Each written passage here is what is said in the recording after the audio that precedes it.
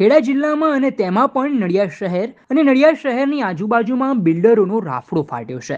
આવા બિલ્ડરો સરકારી ધારાધોરણોને કોઈ પણ માન્યતા આપતા ન હોય એમ બેફામ બનીને સરકારી જમીનો અને સરકારી કાંસો પર બાંધકામ કરી અને સરકારી ગાઈડલાઇન્સના લીરે લીરા ઉડાવી રહ્યા છે. આવું જ એક શોપિંગ કોમ્પ્લેક્સ નડિયાદ મંજીપુરા ચોકડી ખાતે સર્વે નંબર બસો એક્યાસી ઓબ્લિક સાત પર આવેલું છે. સંતરામ રોડ પર આવેલી સદગુરુ સેલ્સ નામની દુકાનના માલિકોએ અહીં સરકારી ગાઈડલાઇન્સના લીરે લીરા ઉડાવીને શોપિંગ સેન્ટર ઊભું કરી દીધેલ છે. જે બાબતમાં મંજીપુરાના સરપંચે સ્પષ્ટ કરી દીધું છે કે અમે જે પ્રકારે મંજૂરી આપેલી તે શરતોને આધીન રહીને તેમણે આ બાંધકામ કરેલું ના હોય તથા નગર નિયોજનનો નકશો પાસ કરાવેલ ના હોવાથી તેમની આકારણી થયેલ નથી. છતાં પણ આ તત્વો દ્વારા આ શોપિંગ મોલ ઊભો થયેલો હોવાથી આખું બાંધકામ ગેરકાયદેસર છે.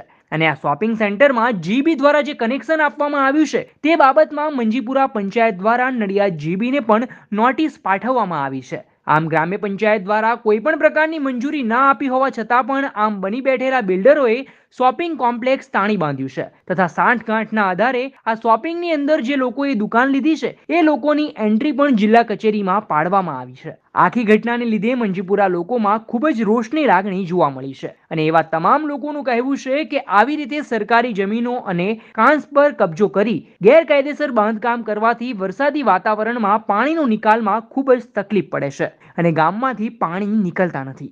જેના કારણે આવા લોકો બની બેઠેલા બિલ્ડરોને સબક શીખવવો જોઈએ અને આવી રીતે ગેરકાયદેસર ઊભું કરેલ બાંધકામને તાત્કાલિક ધોરણે ધ્વસ્ત કરી દેવું જોઈએ અથવા ખેડા જિલ્લા તંત્ર દ્વારા આ શોપિંગ સેન્ટર તાત્કાલિક ધોરણે સીલ કરી દેવા જોઈએ તેવી માંગ ઉઠવા પામી છે.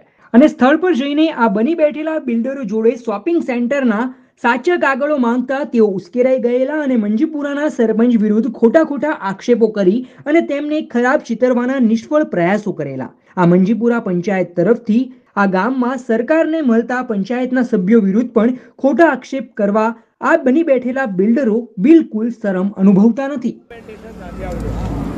તમે સરપંચને પૈસા આપ્યા? હા આપ્યા. વ્યવહાર કરીને બનાવ્યું બિલ્ડિંગ આપણે જો પ્રૂફ ખરું. બરાબર પ્રૂફ એ લોકો આપ્યું છે ને ઠરાવ કરીને આલ્યું છે ને એમને થોડી બાંધ્યું છે. ઠરાવ આલ્યું છે ને. પણ તમે પૈસા ભરીને બિલ્ડિંગ બનાવ્યું તમે પ્રૂફ આલ દેજો હું તમારું ઇન્ટરવ્યુ લઈશ. તમે કોઈ ઠરાવ મારા દુશ્મન ઠરાવ આલી નહીં ને ઠરાવ બાંધજો ને. બંધ કરી બરાબર છે. આલી છે, શરત બંધ કરી દે શહેરી નિયોજન. આ સરકારી ખાતું હા, અમે એમ કે છે યાર, અમે એમને જાહેરમાં ના- કાકા વ્યવહાર આલે અમે પાયો ખોદતા હોય તો કંઈક તો લીધું હશે ને. એમને થોડી પાયો ખોદ્યો હશે. મંજુપુરા ચોકડીની બાજુમાં એક શોપિંગ કોમ્પ્લેક્સ બનેલું છે. ગામવાળાઓને કહેવું એવું છે કે ત્યાં કાંસનું દબાણ છે વધતા ત્યાં આગળ નગર નગર નિયોજનનો જે નકશો છે એ પાસ કરાયો નથી એની આંકડી થઈ નથી અને બારોબાર કોમ્પ્લેક્સ બાંધી દીધેલું છે. એ બાબત આપનું શું કહેવું છે? અમે તો એમને પરમિશન આપેલી છે બિનખેતીની.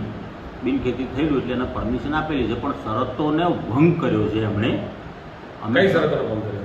એને દબાણ ના કરવું સરકારી જમીન ના દબાવવી આજુબાજુના ખેતરની કોઈની જમીન ના દબાવવી એ રીતનું એને બાંધકામ કરવાનું એ રીતની અમે પરમિશન આપતા હોય પણ એણે શરતોનો ભંગ કર્યો છે એટલે અમે મંજીપુરા ગ્રામ પંચાયત એની એક પણ આકારણી કરી નથી. તો આંકડી નથી કરી તો આ કોમ્પ્લેક્સ બનાવી દીધું આ ઇલીગલ જ કહેવાય ને? એ લીગલ અનલીગલ કહેવાય. બીજી વસ્તુ છે કે આ જીબીમાંથી કનેક્શન બી લઈ આવ્યા છે. તો જીબીમાંથી કનેક્શન કેમનું મળી શકે અમને જીબીમાં એ લોકો પૈસા ભરે અને એક થાય એટલે એમને ટેમ્પરરી એક કનેક્શન આપે. બાકીનો કનેક્શન મંજીપુરા ગ્રામ પંચાયતની આકારણી થાય પછી જ એમને મળે. પણ જાણવા એવું બી મળ્યું છે જીબીમાંથી કે ભાઈ મંજીપુરા ગ્રામ પંચાયતે જીબીને નોટિસ આપી છે. આ કનેક્શન કેમ આપ્યું હોય અમદાવાદમાં? બાબતમાં હા અમે નોટિસ એક આપી છે અને અમે ઉલ્લેખ એ કર્યો છે કે ભાઈ મંજીપુરા પંચાયતની આકારણી બન્યા વગર કોઈ પણ જાતનું કનેક્શન આપવું નહીં. એવું જીબીને અમે લેખિતમાં અમારા તલાટી કમ મંત્રીએ પોસ્ટો કર્યો છે કાગળ.